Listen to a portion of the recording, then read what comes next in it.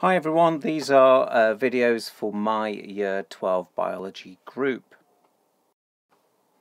So today I'm going to talk about cell fractionation, so it's the way that we can separate the cell components or organelles um, when we're studying cells.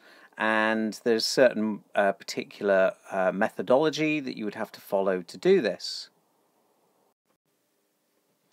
So before you start separating the organelles by fractionation, you've got to place them in a cold buffered isotonic solution. So let's talk about those three things. So number one, cold. Well, you want it cold so reduce any enzyme activity.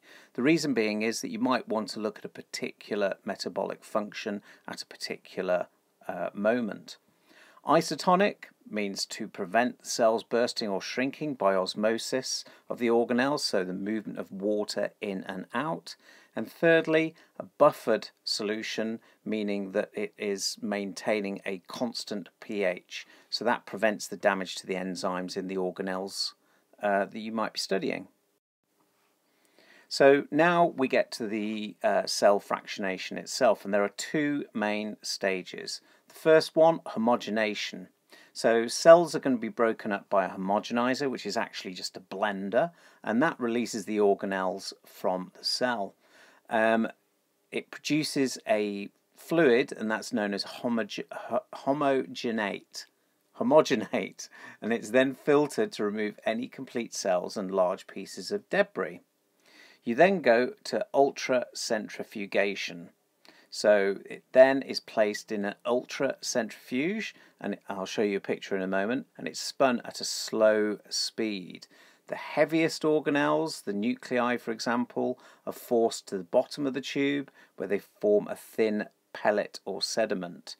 And then the fluid at the top, which is known as the supernatant, is removed, and then the supernatant is respun at a faster speed than before.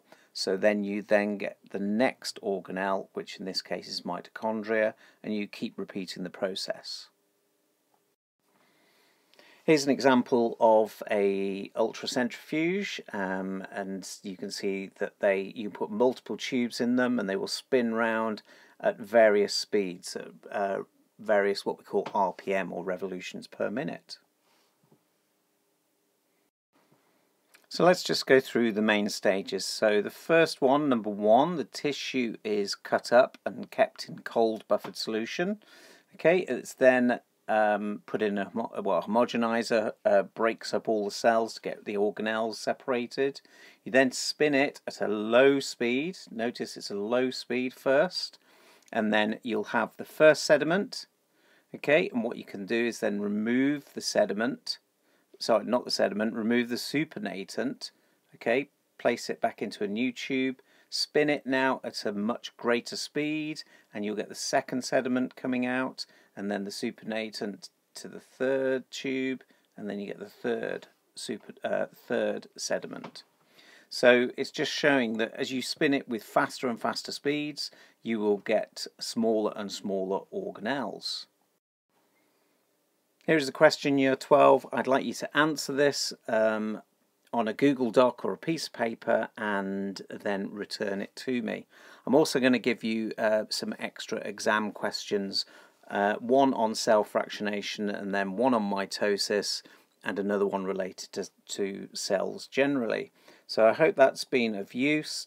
Please do let me know if I can do anything for you and I'll speak soon.